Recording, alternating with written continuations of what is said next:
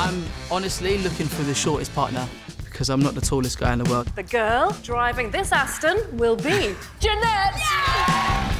I think we're just the perfect pairing. Whoa! Mr. Foxtrot has arrived. Cool, confident, stylish. I think you are going to be the one to watch. I'm so proud of you.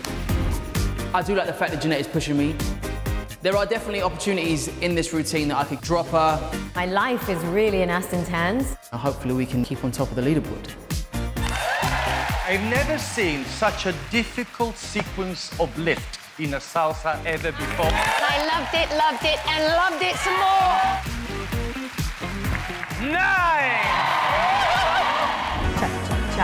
Really need to work on his feet. Ankle, ankle, out. Give it a few days and when it all sinks in, I start to come alive a little bit. When you dance, the whole place comes alive. You're very good, aren't you, darling? Brilliant. Quick step is the hardest dance. My feet are actually on fire. I'm so, so sorry. For you two, the sky is the limit. I loved the routine. Outstanding. With the waltz, makes you sweat. It's just as hard as doing a quick routine.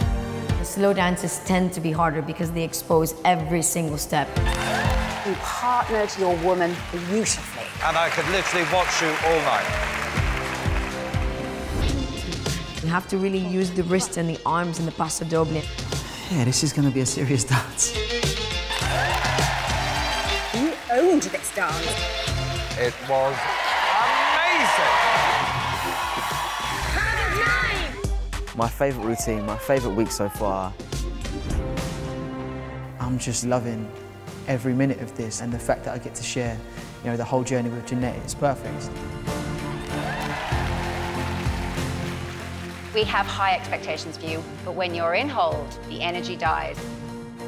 Some things don't always work out, darling. As head judge Shirley has the casting vote, who are you going to save? I'm saving Molly and AJ. I don't think I am ever going to have the opportunity to dance with someone who is so talented